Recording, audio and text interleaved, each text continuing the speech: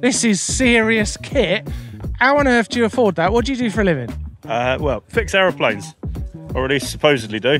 Uh, I run a design company. Uh, I work for the ambulance service. Uh, I'm, a, I'm a mere carpenter. I'm a UX designer. Uh, believe it or not, got a bike shop. I run a bike shop. You're the second person who said that. It's a Thursday, so you should all be putting wings on planes. How you got the day off? Are you skiving? No, shift work, isn't it?